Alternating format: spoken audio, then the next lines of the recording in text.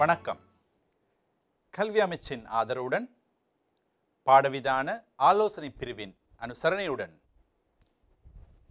மகிழ்ச்சியான நாளை உருவாக்க மீண்டும் நான் பள்ளிக்கு ஆரோக்கியமான மனதுடன் கல்வியின் பாதையிலே ஓர் உளவியல் பிரவேசம் என்ற நிகழ்ச்சிக்கு உங்களை எல்லாம் வருக வருக என்று வரவேற்கின்றேன். கோவிட் பெருந்தொற்றினை தொடர்ந்து பாடசாலைகள் ஆரம்பிக்கப் போகின்றன. பாடசாலையிலே உங்களை சந்திக்க வரப்போகும் மாணவ மாணவியர்களே நீங்கள் எப்படி வரவேற்கப் போகின்றீர்கள்? அவர்களை அடையாளம் கண்டு இனம் கண்டு எவ்வாறு அவர்களை கல்வி செயற்பாட்டிற்கு வரவழைக்கப் போகின்றீர்கள்? அந்த செயற்பாட்டின் முதல் அத்தியாயம்தான் இந்த நிகழ்ச்சி. நீங்கள் எவ்வாறு பிள்ளைகளை இனம் காணப்போகின்றீர்கள் எவ்வாறு அடையாளம் காணப்போகின்றீர்கள் என்பதை உங்களுக்கு அறிமுகப்படுத்தும் ஒரு முயற்சி முயற்சிதான் இந்த நிகழ்ச்சி. இந்த கலந்துரையாடலில் முதலில் நான் கல்வியின் தந்தை சிடபிள்யூடபிள்யூ கண்ணங்கர ஐயா அவர்களின் ஒரு கூற்றினை அறிமுகப்படுத்திவிட்டு ஆரம்பிக்கப் போகின்றேன். எனது இந்த முயற்சி காட்டில் மலரும் மலர்களை வாடவிடாது தேசத்தின் வளர்ச்சிக்கு அர்ப்பணிப்பதே என்று ஐயா அவர்கள் கூறியுள்ளார்கள். அந்த கூற்றின் மிக முக்கிய பாத்திரதாரிகளாகியன ஆசிரியர்களாகிய உங்களுக்கே இந்த கலந்துரையாடல் அர்ப்பணம். உங்களுக்கு எமது மனமார்ந்த நன்றிகள்.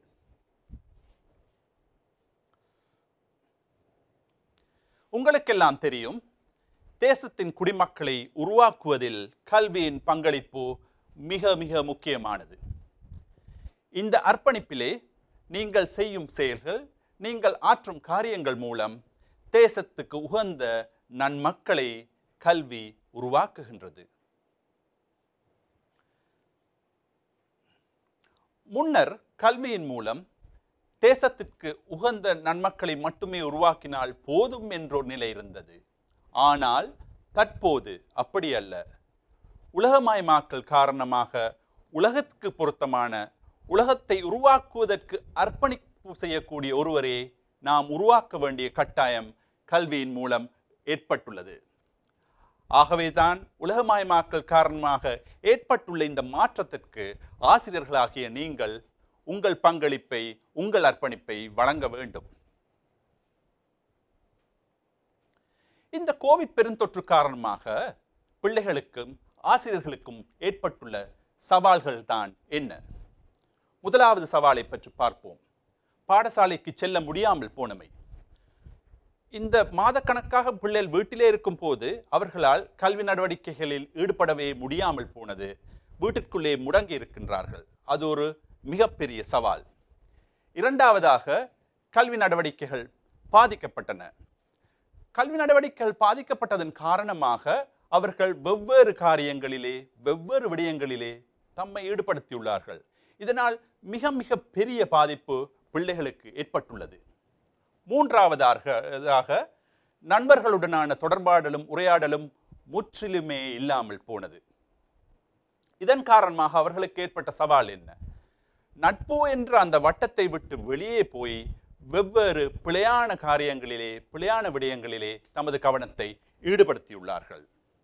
நான்காவதாக விளையாட்டுகளும் மைதானங்களும் பிள்ளைகளின் வட்டத்திலிருந்து வெளியே சென்றது.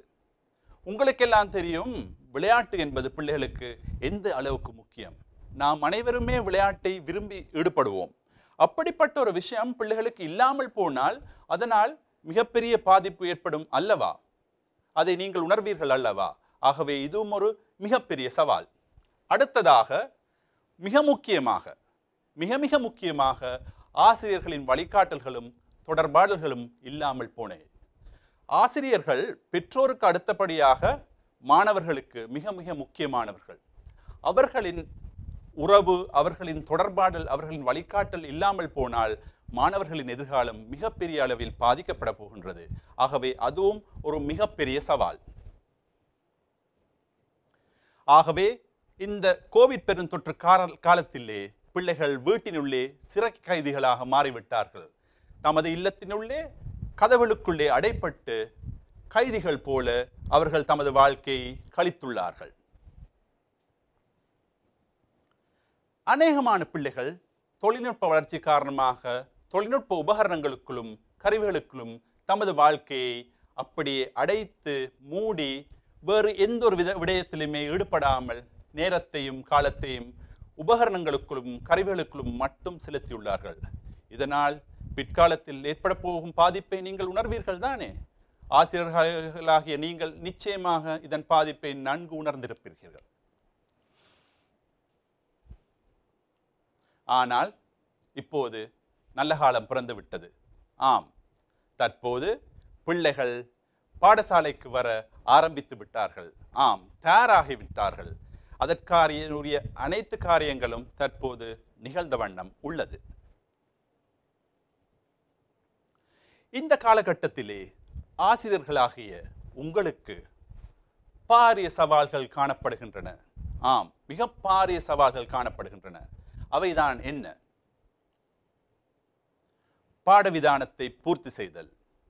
உங்களுக்கெல்லாம் தெரியும் கடந்த மாதக்கணக்காக பிள்ளைகள் வீட்டிலே இருந்தபடியால் அவர்கள் பூர்த்தி செய்யக்கூடிய நிறைய பூர்த்தி செய்ய வேண்டிய நிறைய விடயங்களை பாடவிதானங்களிலே பூர்த்தி செய்யாமல் இருக்கின்றார்கள். ஆசிரியர்களாக உங்களுக்கு அது ஒரு மிகப்பெரிய சவால். இவ்வளவு காலத்தில் நான் இதை முடிக்கப் போகின்றேன். எவ்வாறு முடிக்கப் போகின்றேன்? இப்படியெல்லாம் யோசித்துக் கொண்டிருக்கின்றீர்கள் ஆகவே உங்களுக்குள்ள மிகப்பெரிய சவால் அந்த பாடவிதானத்தை முடித்தல். மேலும் பிள்ளைகளை பரீட்சைக்கு தயார் செய்தல். ஆம் இந்த காலகட்டத்திலே நிறைய பாடங்கள் சரியாக செய்ய முடியாமல் போனதால் பரீட்சைகள் சரியாக செய்யாததால் பிள்ளைகளுக்கு அது ஒரு பெரிய தலையடியாக இருக்க போன்றது. அதை எப்படி நாங்கள் முடிக்கப் போகிறோம் தயார் செய்ய போகின்றோம் என்று. மூன்றாவதாக கல்வி நடவடிக்கைகளுக்கு பிள்ளைகளை ஈடுபடுத்துதல். வீட்டிலே மாதக்கணக்காக இருந்த ஒரு பிள்ளைக்கு கல்வி மீது கொஞ்சமும் அக்கறை இல்லாமல் போகும். ஆகவே அந்த பிள்ளைகளை கல்வி நடவடிக்கைகளுக்கு ஈடுபடுத்துவது என்பது உங்களுக்கு உள்ள மிக மிக பெரிய சவால். மே அடுத்த பிரச்சனை பிள்ளைகளுக்கு ஏற்பட்டுள்ள பொருத்தமில்லாத பழக்கங்கள். இந்த காலகட்டத்திலே பிள்ளைகள் பல்வேறு விடயங்களிலே தம்மை ஈடுபடுத்தியுள்ளதால் ஒவ்வொரு நல்ல மற்றும் தீய பழக்க வழக்கங்களில் ஈடுபட்டுள்ளார்கள். அவற்றை கட்டுப்படுத்த அவற்றை அடையாளம் காணுவதும் உங்களுக்குள்ள மிக பெரிய சவால். அடுத்த பிரச்சனை சுகாதார வழிமுறைகளை பின்பற்றுதல். இந்த கோவிட் பெருந்தொற்று காலத்திலே சுகாதார வழிமுறைகளை சரியாக பின்பற்றாவிட்டால் என்ன பிரச்சனை வரும்? மேலும் பிள்ளைகள் நோயினால் பாதிக்கப்பட போகின்றார்கள். ஆகவே ஆசிரியர்களாகிய உங்களுக்குள்ள மிகப்பெரிய சவால் அந்த சுகாதார வழிமுறைகளை சரியாக பின்பற்றுவது. ஆகவே அதுவும் மிக மிக முக்கியமான ஒரு பணியாகும். இறுதியாக கற்றல் நடவடிக்கைகளுக்கு பெற்றோர்களின் ஒத்தாசையை பெறுதல். உங்களுக்கெல்லாம் தெரியும் பெற்றோர்களும் பாடசாலை இல்லாமை காரணமாக பிள்ளைகளின் கல்வி நடவடிக்கைகள் இல்லாமை காரணமாக மிக மிக கவலையுடன் இருப்பார்கள். மிக மிக சிக்கல்களை சந்தித்துக் கொண்டிருப்பார்கள். ஆகவே அவர்களின் ஒத்தாசையும் பெற்றுக்கொள்ள வேண்டும். அதற்காக நீங்கள் என்ன செய்ய போகின்றீர்கள்? அதுவும் உங்களுக்குள்ள மிகப்பெரிய சவால். அடுத்து பாடசாலைகள் ஆரம்பித்த பின் எப்படிப்பட்ட பிள்ளைகளை நாம் சந்திக்கப் போகின்றோம் என்பதை பார்ப்போம். பாடசாலை ஆரம்பித்த பின் இரு வகையான பிள்ளைகளை நீங்கள் சந்திக்கப் போகின்றீர்கள். வெற்றிகரமான பிள்ளைகள் மற்றும் சவால்களை சந்தித்த பலவீனமான பிள்ளைகள். பாடசாலை ஆரம்பித்த பின் நீங்கள் சந்திக்கப் போகும் வெற்றிகரமான பிள்ளைகளை எப்படி அடையாளம் காணப் போகின்றீர்கள்? வெற்றிகரமான பிள்ளைகளுக்கு சில அறிகுறிகள் இருக்கப் போகின்றன. வாழ்நாள் முழுவதும் கற்றுக்கொள்ள விரும்புவார்கள். அதாவது வெற்றிகரமான பிள்ளைகளில் கற்றுக்கொள்ள வேண்டும் என்ற அவ்வா ஆசை தொடர்ந்து இருக்கப் போகின்றது. சகல அனுபவங்களிலும் வாழ்க்கைக்கான பாடத்தை கற்றுக்கொள்ள அவர்கள் விரும்புவார்கள். அவர்கள் செய்யும் ஒவ்வொரு காரியத்திலுமே ஏதோ ஒரு அனுபவத்தை பெற்றுக்கொள்ள அவர்கள் முயற்சி செய்வார்கள். அடுத்ததாக முதிர்ச்சியான மனநிலையை உருவாக்கிக் கொள்வார்கள். உதாரணத்திற்கு உங்களுக்கு தெரியும் சிறு பிள்ளைகளுக்கு வந்து சில நேரங்களில் தோல்விகளை தாங்க பு- முடியாத மனநிலை இருக்கும். ஆனால் வெற்றிகரமான பிள்ளைகள் அதையும் தாண்டி நல்ல முதிர்ச்சியான மனநிலையை உருவாக்கிக் கொள்வார்கள். நான்காவதாக சுயநம்பிக்கை. சுயநம்பிக்கை உள்ளவர்களாக வெற்றிகரமான பிள்ளைகள் இருக்கப் போகின்றார்கள்.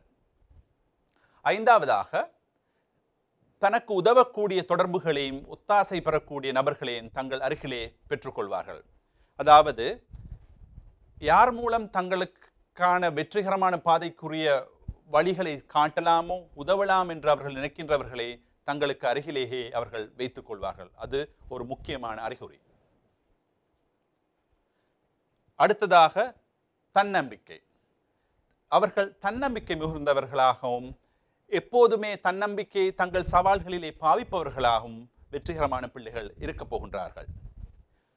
இ- இறுதியாக நல்ல எண்ணங்கள் நம்பிக்கைகள் மற்றும் நல்ல பழக்க வழக்கங்களை கொண்டிருப்பார்கள். வெற்றிகரமான பிள்ளைகளுக்கு மூட நம்பிக்கைகள் இருக்க போகிறது இல்லை வெற்றிகரமான பிள்ளைகளுக்கு பிறரை துன்புறுத்தவோ பிறரை ஆஹ், த- தவறான பாதைக்கு இட்டுச் செல்லவோ எந்தவித அவசியமும் இருக்க போவதில்லை. ஆகவே இவையெல்லாம் வெற்றிகரமான பிள்ளைகளின் நல்ல அறிகுறிகள். அடுத்து வெற்றிகரமான பிள்ளை ஒரு மனிதனாக தம்மால் செய்யக்கூடிய அனைத்தையும் செய்யலாம் என்று நம்பும் பிள்ளையாக இருக்கும். மற்றவர்கள் மீது அன்பு செலுத்தி அவர்களை முக்கியமானவர்களாக கருதுபவர்களாக இருப்பார்கள். தனது வாழ்க்கைக்கும் செயற்பாடுகளுக்கும் பொறுப்பு கூறுவர்களாக இருப்பார்கள். வாழ்க்கையின் குறிக்கோள்களை சரியாக உறுதிப்படுத்திக் கொண்டு அவற்றை அடைவதற்கான பாதையை உருவாக்கிக் கொள்வர்களாக இருப்பார்கள். குறிக்கோள்களை அடைய சரியான திட்டமிடல் சரியான வழிவகை சரியான பாதையிலே அவர்கள் பயணிப்பார்கள். இந்த நெருக்கடியான காலகட்டத்திலே நீங்கள் பலவீனமான மாணவர்களையும் சந்திக்கப் போகிறீர்கள். யார் இந்த பலவீனமான மாணவர்கள்? யாரை நாங்கள் பலவீனமான மாணவர்கள் என்று சொல்லப் போகின்றோம்? ஆம். இந்த கோவிட் தொற்று ஒரு நெருக்கடியான தொற்று. ஒரு நெருக்கடியான காலகட்டத்திலே நாம் எல்லாம் வாழ்ந்து கொண்டிருக்கின்றோம். இதனால் பாரிய சவால்கள் பிள்ளைகளுக்கு ஏற்பட்டுள்ளது. அந்த சவால்களுக்கு முகம் கொடுக்க முடியாமல் சமுதாயத்திலே ஓரம் கட்டப்பட்ட சில பலவீனமான மாணவர்களையும் நாம் சந்திக்கப் போகின்றோம்.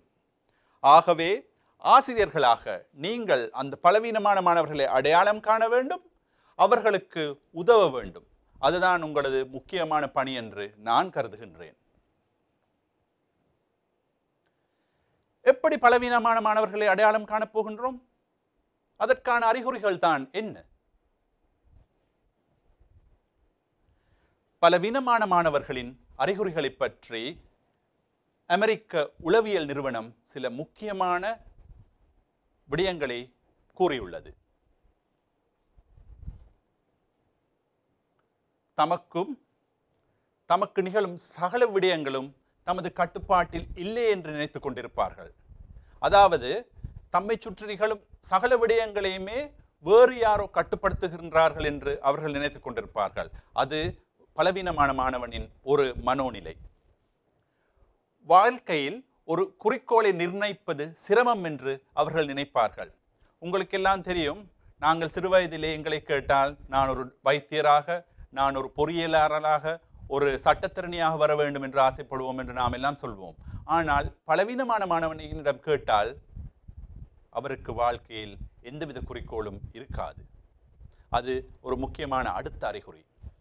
மூன்றாவதாக எதிர்மறையான எண்ணங்களை வெளிப்படுத்துவார்கள். அவர்களிடம் நேர்மறையான எண்ணங்கள் இருக்கப் போவதில்லை. எப்போதும் நெகட்டிவ் தாட்ஸ் அதாவது எதிர்மறையான எண்ணங்களை மட்டுமே கொண்டிருப்பார்கள். அது மூன்றாவது அறிகுறி. நான்காவதாக வாழ்க்கையில் அர்த்தம் இல்லை என கவலையுடன் நேரத்தை செலவழிப்பார்கள். அவர்களுக்கு எந்தவித குறிக்கோளும் இருக்காது எந்தவித திட்டமிடலும் இருக்காது மிகவும் கவலையுடன் வாழ்க்கையை செலவழிப்பார்கள். எப்போதுமே வேலையை பின்தள்ளி போட்டுக்கொண்டே இருப்பார்கள். ஏதாவது ஒரு காரியத்தை செய்ய சொன்னால் இப்போது என்னால் முடியாது. எனக்கு நேரம் இல்லை. எனக்கு வேறு வேலைகள் இருக்கின்றன. அப்படி பல்வேறு காரணங்களை கூறிக்கொண்டிருப்பார்கள் அதுவும் முக்கியமான ஒரு அறிகுறி. எதை செய்ய வேண்டும் என்ற தீர்மானத்தை எடுக்க தவறுவார்கள். அவர்களுக்கு சுயமதிப்பு தம் மீது இருக்கப் போவதில்லை. அதாவது தம்மை ஒரு முக்கியமான நபராகவோ தம்மால் இந்த சமுதாயத்துக்கு ஏதும் நன்மை இருக்கின்றதோ என்று அவர்கள் எண்ண மாட்டார்கள். அந் தம் மீதே அவர்களுக்கு மதிப்பு இல்லாத ஒரு தன்மை காணப்படும்.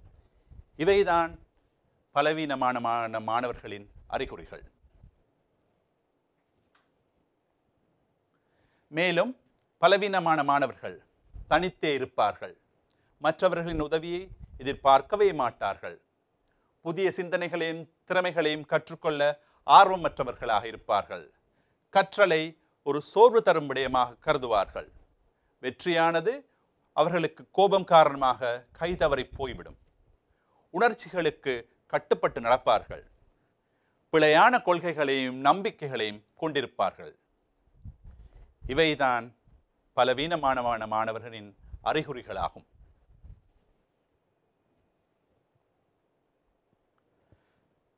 பாடசாலை ஆரம்பித்த பின் உங்களுக்கு உள்ள மிகப்பெரிய சவால் என்ன? நெருக்கடி காரணமாக பலவீனமடைந்த மாணவ மாணவியரை வெற்றிகரமான மாணவர்களை ஆக்குவதுதான் உங்களுக்குள்ள மிகப்பெரிய சவால் என்று நான் கருதுகின்றேன். அதுதான் உங்களுக்குள்ள மிக மிக முக்கியமான சவால். வெற்றிகரமான கல்வியின் பங்காளர்கள் என்று கருதும் போது மூன்று வகையான பங்காளர்கள் காணப்படுவார்கள். மூன்று வகையான பங்காளர்கள். ஆசிரியரின் பங்களிப்பு பெற்றோர்களின் பங்களிப்பு மாணவர்களின் பங்களிப்பு. இவை மூன்றும் சேர்ந்துதான் வெற்றிகரமான கல்வியை உருவாக்கப் போகின்றது. ஆகவே இந்த மூன்று பங்குதாரர்களிலே நாம் என்று கதைக்கப் போது வேறு யாரையும் பற்றியும் அல்ல உங்களை பற்றித்தான். ஆசிரியர்களின் பங்களிப்பை பற்றி தான் நாம் பேசப் போகின்றோம். உங்களின் பங்களிப்பு மிக மிக முக்கியமானது. ஆசிரியர்களின் பங்களிப்பு வெற்றி அடைய மூன்று விடயங்கள் முக்கியம். அறிவு அணுகுமுறை திறன். என்னை பொறுத்தவரையில் சகல ஆசிரியர்களும் நல்ல அறிவுள்ளவர்கள். ஆனால் அணுகுமுறையிலும் திறனிலும் ஒருத்தருக்கொருத்தர் சற்று வித்தியாசமாக இருக்கப் போகின்றார்கள். ஆகவே நாம் இன்று உங்கள் அணுகுமுறையிலும் திறனிலும் என்ன மாற்றங்களை செய்யலாம் என்றுதான் யோசிக்கப் போகின்றோம். ஆசிரியர்களின் பங்களிப்பை வெற்றியடை செய்யக்கூடிய நரம்பியல் மற்றும் உளவியல் சம்பந்தப்பட்ட சில தித்தா சித்தாந்தங்கள் இங்கு விளக்கப்பட்டுள்ளன. அவற்றை பற்றி தான் நாம் பேசப்போகின்றோம் மேலும் பலவீனமான மாணவர்களின் நரம்பியல் மற்றும் உளவியல் சம்பந்தப்பட்ட வேறுபாடுகளை பற்றியும் நாம் இங்கே கலந்துரையாடப் போகின்றோம். பாடசாலைக்கு வரும் வெவ்வேறு வகையான மாணவர்களை பிள்ளைகளை நீங்கள் காணப்போகின்றீர்கள் அவர்களிலே பல வித்தியாசங்களை நீங்கள் உணரப்போகின்றீர்கள் முதலாவதாக அவர்களுக்கு கற்பதற்கு விருப்பம் இல்லாமல் இருக்கலாம். கல்வியிலே கொஞ்சம் கூட ஆர்வம் இல்லாமல் இருக்கலாம். இரண்டாவதாக உற்சாகமின்மை. அவர்களுக்கு எந்த ஒரு விஷயத்திலுமே ஆர்வத்துடன் அவர்கள் ஈடுபட மாட்டார்கள். மூன்றாவதாக குழப்பங்களை ஏற்படுத்தும் குணம். வீட்டிலே பிள்ளைகள் வெவ்வேறு விடயங்களை தம்மை ஈடுபடுத்தி ஒரு அட்டவணையிலுள்ளே வேலை செய்யாமல் இருந்த காரணத்தினால் அவர்களுக்கு எதையுமே சரியாக செய்ய தோன்றாது. ஆகவே குழப்புவதற்கான எண்ணம் அந்த சிந்தனை அவர்களிடமே அதிகரித்து காணப்படும். ஆகவே அதுவும் ஒரு மிக முக்கியமான சவால். கவலை மற்றும் விரக்தி. இந்த கோவிட் தொற்றின் காரணமாக பிள்ளைகள் மிக மிக கவலையுற்றுள்ளார்கள். மிக மிக யோசிக்கின்றார்கள். மிகுந்த அளவில் விரக்தியுற்று காணப்படுகின்றார்கள். சில குடும்பங்களிலே பெற்றோர்கள் கோவிட் காரணமாக மரணித்துள்ளார்கள். அவர்களது தாத்தா பாட்டி மரணித்துள்ளார்கள். ஆகவே இது எல்லாம் பிள்ளைகளை பெரிய அளவிலே பாதித்துள்ளது. ஆகவேதான் அது முக்கியமான சவாலாக நான் கருதுகின்றேன். சில பிள்ளைகள் குறைந்த அளவிலான பேச்சினை கொண்டிருப்பார்கள். அதிக அளவு கலந்துரையாட மாட்டார்கள். அதுவும் ஒரு வித்தியாசம். சிலர் ஒழுங்கற்ற தன்மை கொண்டிருப்பார்கள். அதை பற்றி நான் ஏற்கனவே உங்களுக்கு சொன்னேன். சில பிள்ளைகள் மிகவும் பயந்த சுபாவத்துடன் காணப்படுவார்கள். ஆகவே நீங்கள் வித்தியாசனமான குணங்களை கொண்ட நிறைய பிள்ளைகளை சந்திக்கப் போகின்றீர்கள். அது மட்டுமல்ல சில பெற்றோர்கள் வந்து உங்களிடம் சில சிக்கல்களை சொல்லப் போகின்றார்கள். அநேகமான பெற்றோர் தமது பிள்ளை பற்றிய பிரச்சனைகளை ஆசிரியர்களாகிய உங்களிடம் தான் வந்து கதைக்கப் போகின்றார்கள். ஆகவே அவற்றையும் நீங்கள் சமாளிக்க வேண்டும். உதாரணத்துக்கு ஒரு ஆசிரியர் வந்து சொல்ல போகின்றார். ஒரு ஒரு பெற்றோர் ஒரு ஆசிரியரிடம் வந்து சொல்ல போகின்றார். எந்த ஒரு வேலையும் என் பிள்ளைக்கு தனியே செய்ய தெரியாது. தனது அறையை கூட சுத்தம் செய்ய தெரியாது. தனது கோப்பையை ஆடையை கழுவ தெரியாது. நாள் முழுவதும் எனது பிள்ளை டிவி பார்த்து கொண்டிருக்கின்றார் அல்லது கம்ப்யூட்டரில் இருக்கின்றார். எனது மகள் யாரோ ஒரு பையனுடன் பேச எவ்வளவு சொன்னாலும் பேச்சை குறைக்கிறார் இல்லை. சொன்னவுடன் எனது மகனுக்கு கோபம் வருகின்றது. எனது மகன் வீட்டிலே சாப்பிடுவது கிடையாது வெளியிலே சாப்பிட இப்படி பல்வேறு பிரச்சனைகள் பல்வேறு புகார்களுடன் பெற்றோர்கள் வந்து ஆசிரியரிடம் சொல்ல போகின்றார். ஆகவே அவர்களையும் நீங்கள் சமாளிக்கத்தான் வேண்டும்.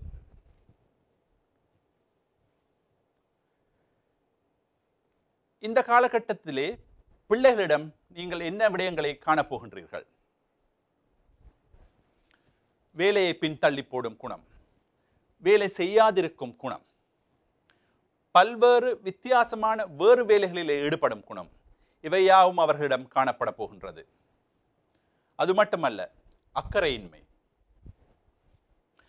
ஆகவே இந்த குணங்களை இப்படிப்பட்ட குணங்களை விஞ்ஞான ரீதியாகவும் மனோரீதியாகவும் ப்ரோக்ராஸ்டினேஷன் என்று சொல்வார்கள். அதாவது காலம் தாழ்த்துதல் என்று சொல்வார்கள். அப்படிப்பட்ட குணங்கள் உங்கள் பிள்ளையிடம் நிறைய நிறைய காணப்பட போகின்றது இந்த காலகட்டத்திலே. ப்ரோக்ரஸ்டினேஷன் என்றால் என்ன?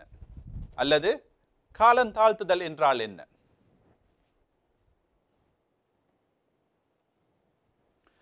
ப்ரோக்ரஸ்டினேஷன் என்றால் குறித்த ஒரு தருணத்தில் செய்ய வேண்டிய முக்கியமான காரியங்களை மறந்துவிட்டு அவ்வளவு முக்கியம் இல்லாத காரியங்களை செய்தலே ப்ரோக்ரஸ்டினேஷன் எனப்படும்.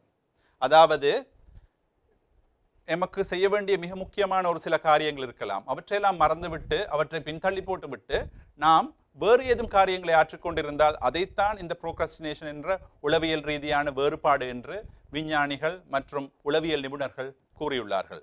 அது ஒரு முக்கியமான மாற்றம். நிறைய பிள்ளைகளை நீங்கள் சந்திக்கப் போகின்றீர்கள் இந்த காலகட்டத்திலே. அப்படிப்பட்ட மாற்றங்களுடன். அடுத்து கல்வி மற்றும் முயற்சி பற்றி நாங்கள் பேசுவோம். அதாவது ஒரு பிள்ளை கல்வி கற்பதற்கு எத்தகைய முயற்சியை செலுத்த வேண்டும் என்று ஒரு பிள்ளை நல்ல பிள்ளையாக கல்வி கற்பதற்கு அவர்கள் அவர்களுடன் காணப்படும் சில குணங்கள் அதாவது அவர்களது புத்தி கூர்மை திறன் இவை அனைத்தும் இன்ட்ரென்சிக் காரணங்கள் என்று சொல்லப்படும். அதை விடுத்து வெளிப்புற சூழலில் காணப்படும் சில வித்தியாசங்கள் மாற்றங்களை எக்ஸ்ட்ரென்சிக் ஃபேக்டர்ஸ் அல்லாது எக்ஸ்ட்ரென்சிக் காரணிகள் என்று சொல்வார்கள். இவை இணைந்து ஒன்றாக பயணித்தால்தான் ஒரு பிள்ளை நல்ல முயற்சியுடன் கல்வி கற்கப் போகின்றது. முயற்சிக்கு வரைவிலக்கணம் என்ன? எமது உடல் ரீதியான மற்றும் உளவியல் ரீதியான குறிக்கோள்களை அடைவதற்கு அவசியமான செயற்பாடுகளை ஆரம்பித்து அவற்றை நடைமுறைப்படுத்த மூளையிலிருந்து உருவாக்கப்படும் சக்தியே முயற்சி என அழைக்கப்படுகின்றது அல்லது வரைவிலக்கணப்படுத்தப்படுகின்றது. ஆகவே இந்த முயற்சி என்பது மிக ஒரு முக்கியமான காரணி கல்வி செயற்பாட்டிலே. ஒரு உதாரணத்தை எடுத்துக்கொள்வோம். உதாரணத்துக்கு உளவியல் தேவை ஒரு உளவியல் தேவை இருக்கின்றது. நீங்கள் ஓஎல் பரீட்சையை மிகச்சிறந்த முறையில் சித்தி அடைய வேண்டும் என்று. அந்த இலக்கு நீங்கள் மூளைக்கு வழங்குகின்றீர்கள். மேற்குறிப்பிட்ட இலக்கினை அடைவதற்கு செய்ய வேண்டிய செயற்பாடுகள். ஒன்று கற்றலில் ஈடுபாடு. இரண்டு கவனத்தை ஏற்படுத்தல். மூன்று பாடத்தை மீட்டுதல். நான்கு பாடசாலைக்கு செல்லுதல். மற்றும் வகுப்புகளுக்கு செல்லுதல். ஐந்து குறிப்புகள் எடுத்தல். ஆறு வினாக்களுக்கு விடை எழுதி பார்த்தல். ஏழு பாடத்திற்கு சம்பந்தப்பட்ட புத்தகங்கள் மற்றும் குறிப்புகளை வாசித்தல். இவை அனைத்துமே சரியாக நீங்கள் செய்தால்தான் இவை சம்பந்தப்பட்ட சகல முயற்சிகளையும் நீங்கள் எடுத்தால்தான் உங்களால் இந்த இலக்கினை அடைய முடியும். சரியான முயற்சி இல்லாத விடத்து மூளையானது இலக்கினை அடைவதற்குரிய செயற்பாடுகளை சரியாக ஆரம்பித்து அவற்றை பூர்த்தி செய்யாது. இதைத்தான் உளவியல் நிபுணர்கள் கூறியுள்ளார்கள். ஆகவே நீங்கள் முயற்சியினை சரியாக செய்யாமல் இருப்பதற்கு காரணம் உங்கள் மூளை அந்த முயற்சிக்குரிய சரியான செயற்பாடுகளை சரியாக செய்யாது. கற்றலுக்கும் மன அழுத்தத்துக்கும் இடையிலான தொடர்பு என்ன? இந்த கிராஃப் அல்லது இந்த படத்தை பாருங்கள். இது கற்றலுக்கு நீங்கள் செய்யும் முயற்சி. இது உங்கள் மன அழுத்தம். இந்த வரைபிலே நீங்கள் கற்றலுக்கு முயற்சியில் எடுக்கும் போது உங்கள் பெர்ஃபார்மன்ஸ் அல்லது கற்றல் திறமை மிகச்சிறந்த முறையில் வெளிப்பட்டு கொண்டு போகும். ஆனால் ஒரு கட்டத்தை தாண்டியவுடன் மன அழுத்தம் காரணமாக உங்கள் திறமை அல்லது திறன் அல்லது பெறுபேறு கொஞ்சம் கொஞ்சமாக குறைந்து கொண்டு போகின்றது. ஆகவே இந்த பகு பக்கத்தில் உள்ள அழுத்தம் ஆரோக்கியமான மன அழுத்தம். இந்த பக்கத்தில் உள்ளது ஆரோக்கியமற்ற மன அழுத்தம். ஒரு ஒரு கட்டத்தை தாண்டி நீங்கள் அழுத்தம் வழங்கினால் உங்கள் பிள்ளை சரியான பெறுபேறினை பெறப்போவதில்லை. ஆகவே இந்த வரைவினை சரியாக ஞாபகப்படுத்திக் கொள்ளுங்கள்.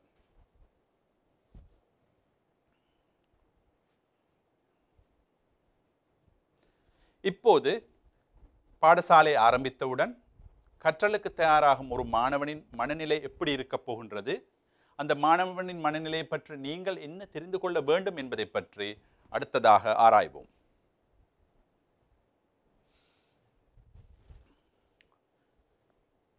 கற்றல் மீது விருப்பம் மகிழ்ச்சி மற்றும் ஈடுபாடு என்பவற்றை மாணவர்கள் கொண்டிருப்பார்கள். மூளைக்கு ஏற்படும் அழுத்தத்தை சரியான வகையில் திசை திருப்ப பார்ப்பார்கள்.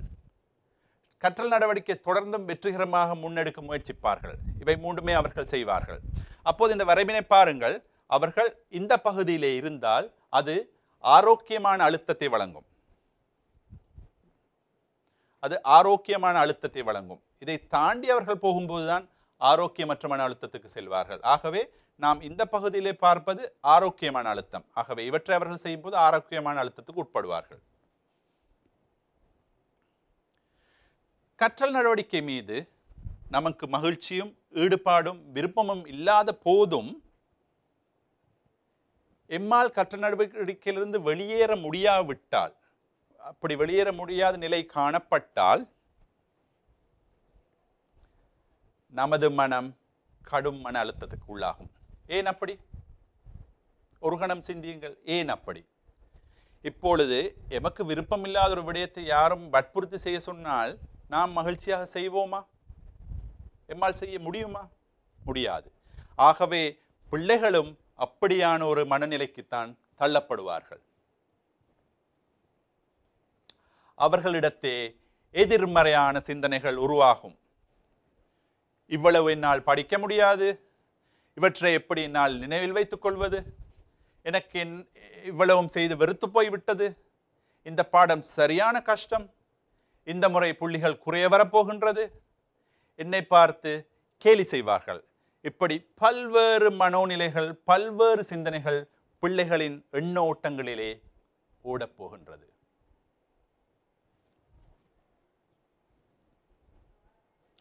இந்த எதிர்மறையான விளைவுகள் காரணமாக அவர்கள் மனதிலே பல்வேறு வித்தியாசங்கள் வரப்போகின்றது. உதாரணத்துக்கு வெறுப்பு மாற்றம் சோம்பல் கோபம் நித்திரை உற்சாகமின்மை அக்கறையின்மை இப்படி பல்வேறு சிந்தனைகள் பல்வேறு மாற்றங்கள் அவர்கள் மனதை பாதிக்கப் போகின்றது. அவர்களுக்கு அழுத்தத்தை ஏற்படுத்த போகின்றது. அவர்களுக்கு எதிர்மறையான விளைவுகளை அவர்களுக்கு வழங்கப் போகின்றது.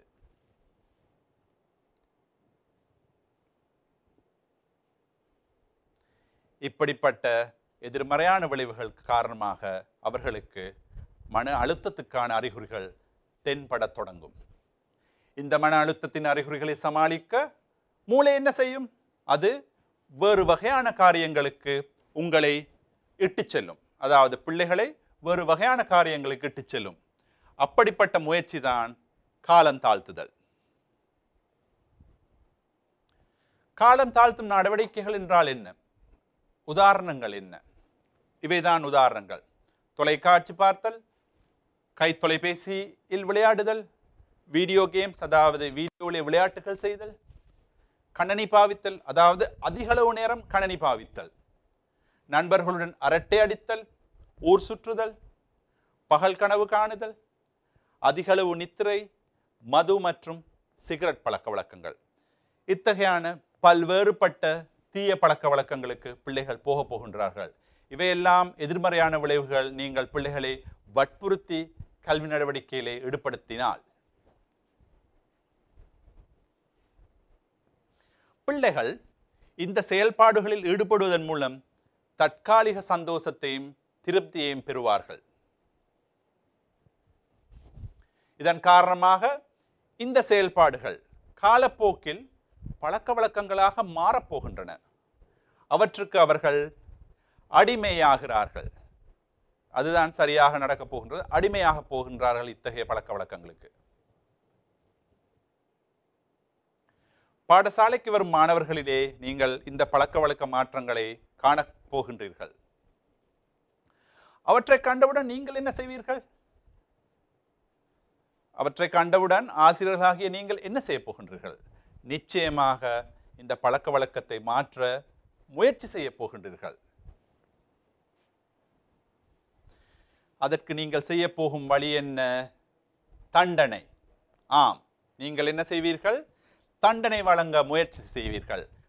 உண்மையில் பிள்ளைகள் பிழையான வழியில் செல்லும் போது பிள்ளைகள் சரியான வி- விஷயங்களை செய்யாத போது ஆசிரியர்கள் தண்டனை வழங்க வேண்டும் என்று நினைப்பது சாதாரணமான விடயம். தண்டனை எதற்காக அவசியப்படுகின்றது? ஒரு கணம் யோசியுங்கள். பிழையான பல வழக்க வழக்கங்களை மாற்றி நல்ல பழக்க வழக்கங்களை ஏற்படுத்துவதற்கு கூடிய முயற்சி தான் தண்டனை என கருதப்படுகின்றது. தண்டனை மூலம் ஆரோக்கியமற்ற அழுத்தத்துடன் கூடிய பழக்க வழக்க மாற்றத்தை ஏற்படுத்த நீங்கள் முயற்சி செய்வீர்கள். என்ன நடக்கப் போகின்றது? தண்டனை வழங்கினால் மன உளைச்சல் மிகுந்த பழக்க வழக்க மாற்றம் ஏற்றம் ஏற்பட போகின்றது. ஆனால் அது கட்டாயத்தின் பேரிலே ஏற்பட போகின்ற மாற்றம். சில வேளைகளில் நீங்கள் தண்டனை வழங்காமல் வேறு முறையிலே நல்ல அனுபவங்களுடன் கூடியான மகிழ்ச்சியான மாற்றத்தை ஏற்படுத்தலாம். அப்படி மாற்றத்தை ஏற்படுத்தால் என்ன நடக்கப் போகின்றது? பயன் மிகுந்த பழக்க வழக்க மாற்றம். அதாவது ஒரு நல்ல சரியான பயன் மிகுந்த பழக்க வழக்க மாற்றத்தை அது பிள்ளைகளில் ஏற்படுத்தப் போகின்றது. இதை நீங்கள் விரும்புகின்றீர்கள். தண்டனை மூலம் பயனற்ற கட்டாயத்தின் பேரிலான மாற்றமா? அல்லது வேறு ஏதும் வழிமுறை மூலமாக பயன் மிகுந்த நல்ல பழக்க வழக்க மாற்றமா?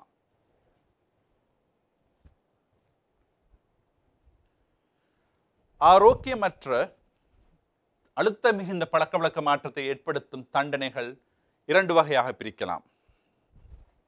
ஒன்று உடலியல் ரீதியான தண்டனைகள் மற்றது உளவியல் ரீதியான தண்டனைகள். உடலியல் ரீதியான தண்டனை என்றால் பிரம்பின் மூலம் அடித்தல் வேறு தண்டனைகள் வழங்குதல் உடலியல் சம்பந்தப்பட்ட உளவியல் என்பது அவர்களை மனோரீதியாக பாதிக்கக்கூடிய சில விஷயங்களை செய்தல். மாணவர்களுடன் பேசாமல் இருத்தல் மாணவர்களை முறைப்பது. நீங்கள் உடலியல் மற்றும் உளவியல் ரீதியான தண்டனைகள் வழங்கும் மூலம் பிள்ளைகள் மன அழுத்தத்தின் இந்த பகுதிக்கு செல்ல போகின்றார்கள். அதாவது ஆரோக்கியமற்ற மன அழுத்தத்திலே அவர்கள் அந்த பிரதேசத்துக்கு செல்ல போகின்றார்கள்.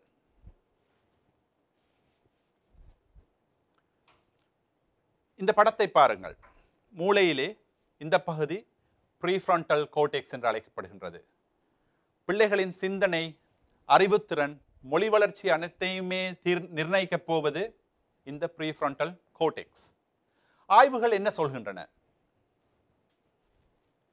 ஆய்வுகளின்படி உடல் ரீதியான தண்டனைகள் வழங்கப்பட்ட பிள்ளைகளின் மூளையின் முக்கிய பகுதியான ப்ரீஃப்ரண்டல் கோட்டெக்ஸ் சரியாக வளர்ச்சி அடையாமல் காணப்பட்டது. ஆரோக்கியமற்ற மன அழுத்தத்தை ஏற்படுத்தும் தண்டனை மூளைகள் ஒரு பிள்ளையின் ஆளுமைக்கு பாரிய தாக்கத்தை ஏற்படுத்துவதாக விஞ்ஞானிகள் கருதுகின்றார்கள். ஆரோக்கியமற்ற மன அழுத்தத்தை ஏற்படுத்தும் தண்டனை முறைகள் மூலம் நாட்டுக்கு ஏற்ற பயனுள்ள பிரஜைகள் உருவாக மாட்டார்கள். இப்போது என்ன செய்வது?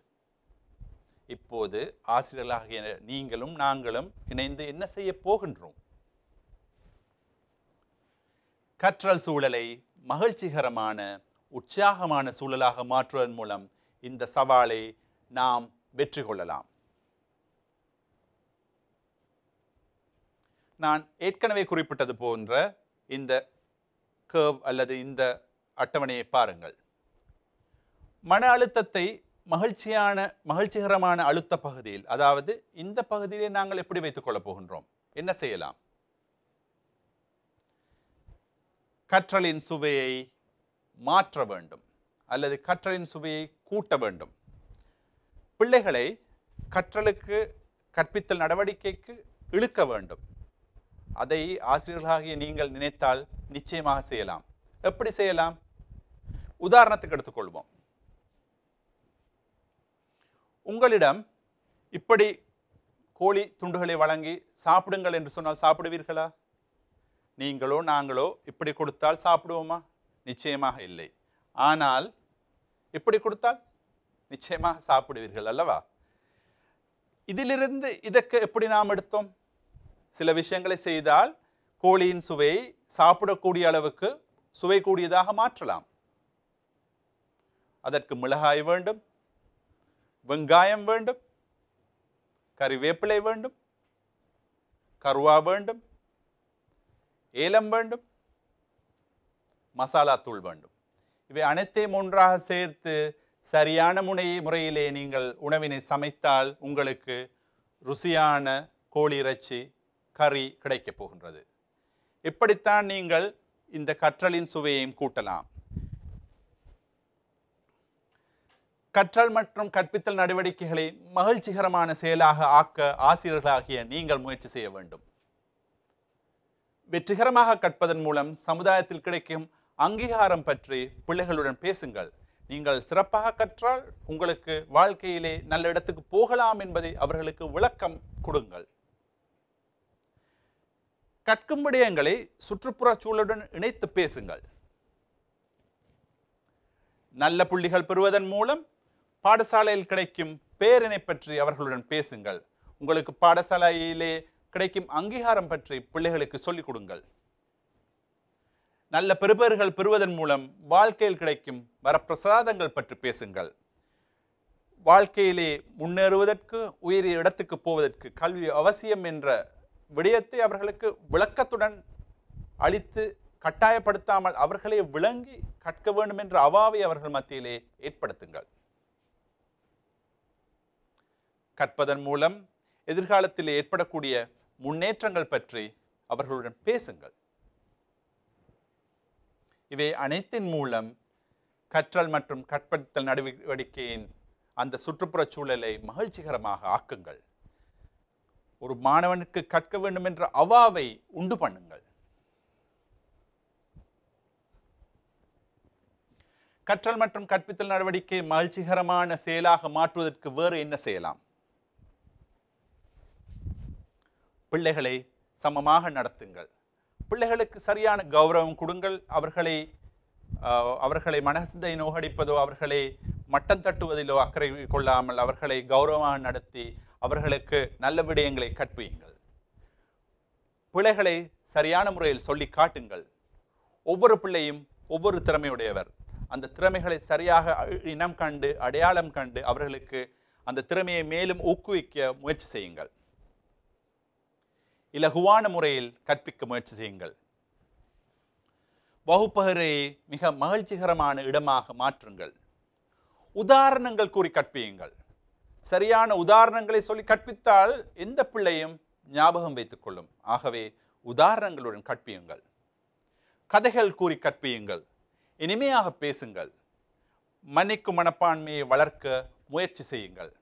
அதை எல்லா இந்த எல்லா விடயங்களையும் விட மிக முக்கியமானது ஒரு அணியாக வேலை செய்யும் அந்த மனப்பாங்கை வளர்க்க முயற்சி செய்யுங்கள்.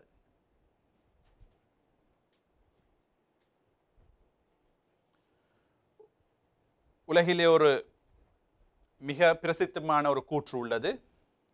Children are the world's most valuable resource and its best hope for the future பிள்ளைகளே உலகின் விலை மதிப்பற்ற செல்வங்கள். வருங்கால உலகின் எதிர்பார்ப்பு அவர்களே. ஆகவே அப்படிப்பட்ட அப்படிப்பட்ட பிள்ளைகளை சரியான காலத்திலே சரியான முறையில் கவனித்து பராமரித்து அவர்களுக்கு உரிய கல்வியை அவர்களுக்கு விருப்பமான முறையில் வள வழங்க ஆசிரியர்கள் அர்ப்பணிப்புகள் செய்ய வேண்டி வரும். சரியான முறையிலே அவர்களுக்கு கல்வியை வழங்குவதன் மூலம் சரியான விதத்திலே அவர்களை வழி நடத்துவதன் மூலம் அவர்களை வாழ்க்கையிலே ஒரு உயர்ந்த இடத்துக்கு இட்டுச் செல்ல ஆசிரியர்களால் உங்களால் கட்டாய முடியும். அதை ஏற்கனவே நீங்கள் செய்து கொண்டிருக்கின்றீர்கள். ஆனால் இந்த கோவிட் பெருந்தொற்று காரணமாக ஏற்பட்டுள்ள மாற்றங்களுக்கு முகம் கொடுக்க கூடிய முறையில் உங்களை நீங்கள் மாற்ற வேண்டும். அதன் மூலம் எமது பிள்ளைகளை பல சமுதாயத்துக்கு ஏற்றவர்களாக மாற்ற எம்மால் முடியும். நல்லது. இன்று கோவிட் பெருந்தொற்றினை தொடர்ந்து பாடசாலைக்கு வரும் பிள்ளைகளை நாம் எவ்வாறு வரவேற்கப் போகின்றோம்? எவ்வாறு அவர்களை கல்வி நடவடிக்கைகளுக்கு வழிகாட்டப் போகின்றோம்? அவர்களை எவ்வாறு இனம் காணப் போகின்றோம் என்பதை பற்றிய சில வழிமுறைகளையும் அறிவுரைகளையும் பற்றி பேசினோம். இந்த அறிவு அறிவுரைகளும் வழிமுறைகளும் ஆசிரியர்களாகிய உங்களுக்கு உங்கள் கல் கல்வி நடவடிக்கைகளை சரிமையான முறையில் செலுத்த ஈடுபட சரியான வழிகாட்டல்களாக அமையும் என்று நாம் நம்புகின்றோம்.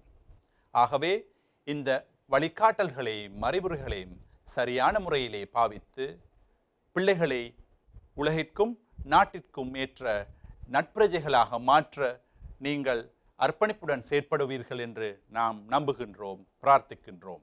அந்த நம்பிக்கையுடன் இன்று இந்த நிகழ்ச்சியை நிறைவு செய்கின்றோம். நன்றி வணக்கம். பாடசாலைகள் ஆரம்பிக்கும் பொழுது மாணவர்களின் கல்வி நடவடிக்கைகளை நாங்கள் எவ்வாறு முன்னெடுத்துக் கொள்ளப் போகின்றோம் என்பது சம்பந்தமாக பேசுவதற்காக மகிழ்ச்சியான நாளையை உருவாக்க மீண்டும் நான் பள்ளிக்கு என்னும் துணைப்பொருளில்